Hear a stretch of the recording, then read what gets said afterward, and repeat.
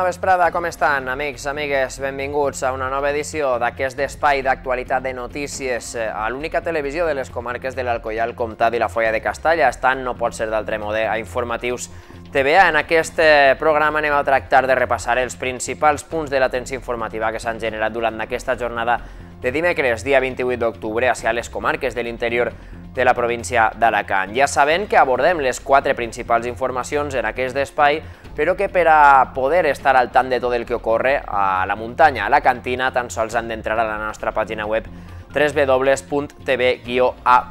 Ahir podran trobar la resta de la informació que s'ha generat en un nou dia intens així d'actualitat a les comarques de l'interior de la província d'Alacant la tenen ara mateix a les seues imatges. Però què els pareix si entrem en matèria per a destacar-los aquestes principals informacions que sota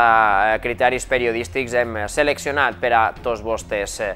Comencem, en aquest cas, a la ciutat d'Alcoi, una ciutat que ja ho vam informar ahir ha registrat aquest passat cap de setmana el seu rècord absolut de contagis per Covid-19 des de l'inici de la pandèmia a mitjans del mes de març. Això ha obligat a totes les administracions, començant pel govern central i acabant pels ajuntaments, a prendre mesures per a tractar d'aturar aquesta pujada en la incidència del coronavirus a les nostres localitats i a tantes altres, una situació que es dona pràcticament a tot el món, especialment al vell continent, a Europa. Una de les mesures que a títol municipal s'han posat en marxa a la ciutat d'Alcoi és el tancament en els dies d'entre setmana, és a dir, de dilluns a divendres, dels vestidors de totes i cadascuna de les infraestructures esportives de la ciutat dels ponts de titularitat pública. Això suposa que, per exemple, no podran eh, usar-se els vestidors ni del poliesportiu Francisco Laporta ni del de Caramanchel ni tampoc del complex esportiu Eduardo La Torre. Eixos punts són en els que des de Sanitat consideren que poden donar-se majors factors de risc per al contagi per coronavirus, així que des de la regidoria d'Esports han procedit a notificar aquest tancament. No podran utilitzar-se entre setmanes sota cap concepte. Qualsevol esportista que vulgui utilitzar les instal·lacions públiques municipals en quant a la vessant esportiva hauran de fer-ho ja vestits amb eh, la seva roba esportiva i també hauran d'anar a dutxar-se a les seues respectives llars, però no podran fer-ho ni en els vestidors ni en les dutxes d'aquestes infraestructures. Això sí, s'obriran els caps de setmana sota demanda i sempre que hi hagi una persona responsable que es faça precisament càrrec de que tots i cadascun de, totes i cadascuna de les persones que van utilitzar aquestes infraestructures complisquen escrupulosament totes les mesures de seguretat per evitar més contagis per Covid-19, hauran de demanar la clau, hauran de posar-se en contacte en cadascuna d'aquestes infraestructures esportives i comprometre's a seguir aquest protocol de seguretat sanitària. És la primera de les informacions que volíem destacar-los en aquest dimecres 28 d'octubre. La següent ens porta fins a l'altra capital de les nostres comarques, en aquest cas de la subcomarca de la Folla de Castalla. Visitem la ciutat de Castalla per a informar-los dels treballs que estan duent-se a terme per a adaptar als nous temps la llar del jubilat d'aquesta localitat, que s'ubica just al costat de la Casa de Cultura, pràcticament a les faldes del Castell i molt propet de l'Ajuntament i del Mercat Municipal de la ciutat de Castalla. Uns treballs que bàsicament es concentren en facilitar l'accessibilitat, de fet són unes, unes obres que es troben dins precisament del Pla d'Accessibilitat Municipal que va ser aprovat recentment. Es tracta de construir una rampa que faciliti l'accés tenint en compte que la immensa majoria dels usuaris d'aquesta instal·lació són persones majors, algunes de les quals requereixen de l'ús d'alguns vehicles de suport eh, per mobilitat reduïda. Unes obres que van ser adjudicades inicialment per 77.000 euros, però que finalment han sigut licitades per poc més de 61.000 amb l'estalvi que això suposa per a les arques municipals i tot i això, a pesar de que la Generalitat Valenciana ha sigut qui ha sufragat el 63% d'aquests eh, treballs que, com eh, dèiem, es centren majoritàriament en facilitar una millor accessibilitat per als usuaris d'aquest eh, centre. Més informacions. En aquest cas anem a desplaçar-nos fins a la ciutat d'Alcoi, la ciutat de referència a les comarques de l'interior de la província d'Alacant, per a parlar del Pla ARRU, que si recorden, en portem ja anys eh, tractant-lo a Informatius TVA, és un pla que tracta de regenerar, de rehabilitar eh, diferents ubicacions urbanes, especialment els centres ur urbans, els eh, cascs antics de cadascuna de les nostres localitats. La ciutat d'Alcoi ha sigut tradicionalment, durant els darrers anys, una de les grans beneficiàries de les inversions d'aquest eh, pla que ha permès, entre altres, rehabilitar bona part eh, dels edificis més danyats en eh, diferents barris de la ciutat. El Pla ARRU el que contemplava són ajudes per a que les despeses no siguin tan elevades, ajudes que superen la meitat de la despesa per als propietaris i que contribueixen a millorar l'aspecte de cadascuna de les ciutats. Ara, dos línies diferents d'actuació es plantegen amb aquest pla ARRU que poden comportar inversions per valor de 7 milions d'euros especialment al centre de la ciutat i al barri del Partidor. La primera d'aquestes dues línies consisteix en invertir més de 4 milions d'euros, la meitat dels quals, aproximadament dos minuts, en sufragaria també la Generalitat Valenciana per a convertir el partidor en un ecobarri, és a dir, fer-lo un barri més amable, més sostenible, i tot amb la construcció de fins a 40 habitatges nous i la rehabilitació d'altres nous, en, eh, amb aquestes inversions que portarien a terme entre l'Ajuntament i la Generalitat Valenciana. És la primera de les línies d'actuació. La segona fa referència a la construcció d'habitatges de titularitat pública que va encetar el propi Ajuntament d'Alcoi per valor aproximat de 2 milions i mig d'euros, amb els quals construir fins a 40 nous habitatges. Tant en un com en l'altre, les ajudes van encaminades a incentivar la construcció d'aquests immobles. Ja sabem que el centre d'Alcoi lamentablement té molts solars eh, arrel d'edificis que han anat entrant en fallida amb el pas del temps i la manca d'actuacions és el que es tracta d'evitar amb plans com aquest eh, ARRU. Incentivar la construcció d'empreses privades que podrien veure bonificat més de la meitat eh, de la despesa que hagueren d'afrontar per a construir els diferents immobles, eh, pel que es tracta també de rehabilitar d'alguna forma el casc antic de la capital de la comarca de l'Alcoià. Però per damunt de totes aquestes informacions volíem destacar-li una, concretament ens porta fins a Cosentaina, la capital de la comarca del Comtat, una localitat que ja ha aprovat després d'exportar debatint-lo des del 2018 el nou plec de condicions eh, que regirà el servei de recollida de residus sòlids urbans durant els propers anys i que establís importants modificacions respecte al contracte actual que porta ja 16 anys de vigor. S'espera que el nou plec de condicions eh, permeta una contractació d'una nova empresa en un horitzó de dos anys i amb aquestes diferències substancials. Diferències que, que comporten, entre altres punts, un dels que ha sigut eh, el principal punt d'enfrontament entre l'Ajuntament i l'oposició en el tema de la recollida de residus sòlids, com és l'auditoria, el control de les tasques que du a terme l'empresa concessionària per a que fins l'últim cèntim que paga l'Ajuntament de Cosentaina cal ressaltar que la recollida de la brossa és no sols a Cosentaina, sinó a la immensa majoria dels ajuntaments així. En qualsevol punt, una de les principals despeses anuals eh, són milions d'euros en una localitat mitjana les que s'empleen en eh, aquestes eh, tasques per a mantenir la localitat neta de brossa i també en el servei de neteja. Una d'aquestes modificacions respecte al pleg anterior que ha sigut aprovat amb 15 dels 16 vots eh, que s'han consignat en el plenari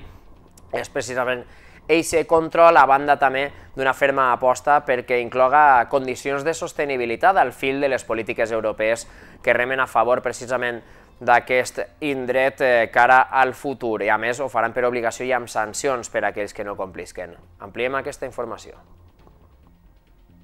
El servei de recollida de residus sòlids urbans suposa, en la major part dels municipis, la despesa més gran que es du a terme des de cada ajuntament. Les empreses que opten aquestes contractes s'embutjaquen milions d'euros cada any a condició de recollir la brossa d'una determinada població dins d'un compromís que sol durar diversos anys. En el cas de Cosentaina, aquest servei porta 16 anys sent prestat per la mateixa empresa amb contractes prorrogats. La concessionària actual, a més, no ha prestat tots els serveis inclosos en l'anterior plec i ha generat importants queixes a la capital del comtat. La situació no és nova, pel que des de l'Ajuntament de Cosentaina porten des del 2018, en l'anterior equip de govern, treballant per enllestir un nou plec. El document, que ha sigut confeccionat amb aportacions de tots els grups polítics contestants des de llavors, ha sigut aprovat en el darrer plenari celebrat a Cosentaina. El nou pleg ha sigut aprovat amb 15 vots a favor i un en contra i suposa un exemple de consens en un tema capital per a les arques de la vila comtal. La situació crida més l'atenció deguda que govern i oposició porten anys xocant en aquest tema que s'ha solventat per acord majoritari. Les condicions que estableix el nou plec, que tardarà en licitar-se en torn a dos anys, suposen substancials variacions respecte a l'actual. La primera és que inclou la figura d'un tècnic encarregat d'auditar els treballs de la nova concessionària, una figura requerida després dels incompliments del servei detectats a la capital del comtat durant els darrers anys per part de la concessionària. Així mateix, estableix una duració del contracte de 5 anys per a adaptar-lo a les necessitats de la població més regularment i també per a atenció a les condicions de sostenibilitat en el tractament de residus que estableixen les normatives comunitàries en aquest sentit. El model de recollida que es busca amb el nou plec de condicions és mixt, a l'haver tingut en compte les aportacions de les diferents forces polítiques contestanes, un fet que ha permès aprovar un document que suposava un dels cavalls de batalla entre govern i oposició contestanes durant els darrers anys. Notícia important per a la vila comtal després de que s'hagin produït diverses batalles polítiques entre govern i oposició al si del plenari precisament a col·lació d'aquest tema de la recollida de residus sòlids urbans. Tradicionalment, ara tancaríem aquest primer bloc d'informatius TVA i encetaríem el segon en la nostra habitual entrevista, però per motius d'agenda avui no podem oferir-los-la, així que ens n'anem directament a abordar la informació de tipus meteorològica en l'oratge.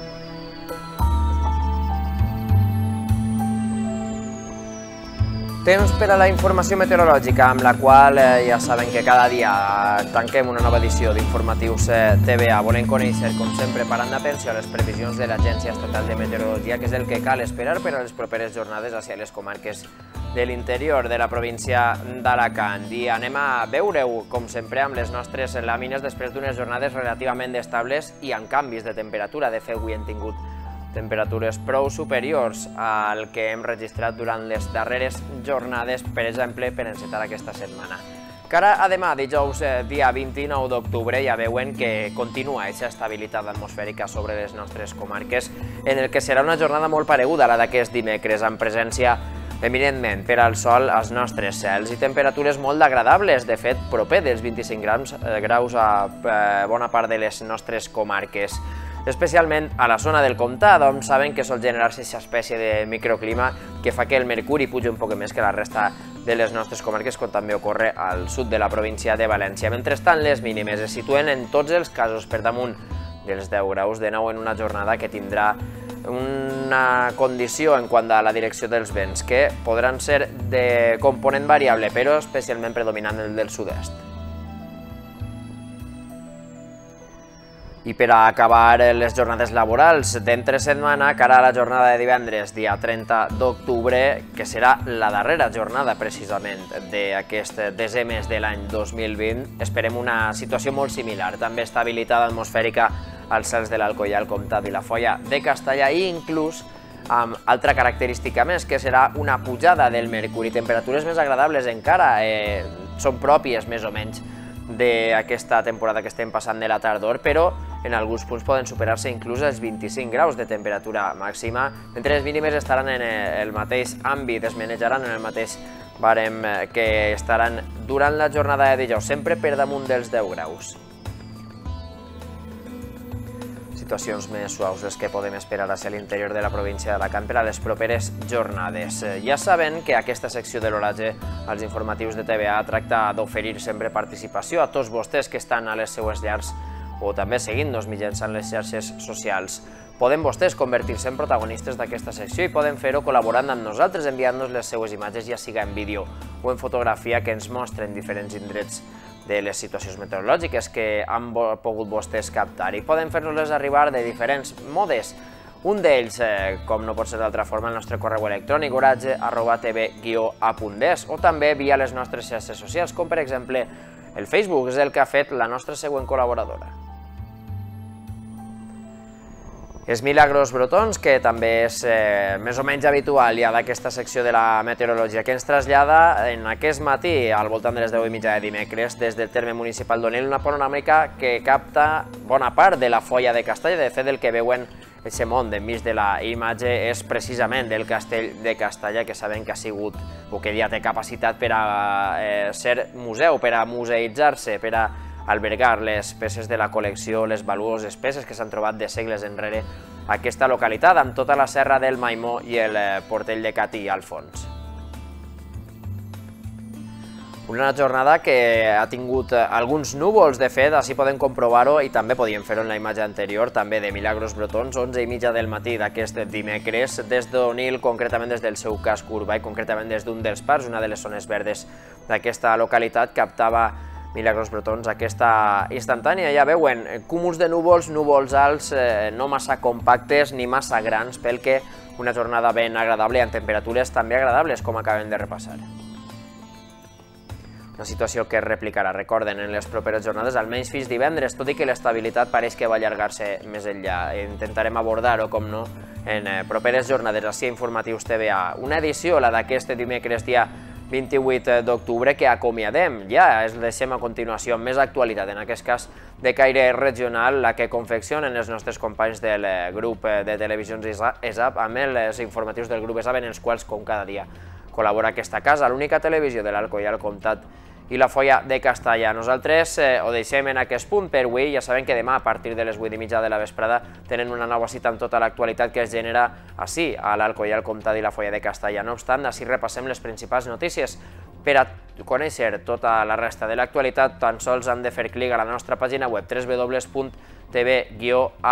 per estar contínuament actualitzats de tot el que ocorre a les nostres comarques les 24 hores del dia. Que tinguen una molt bona nit, siguin feliços i fins demà.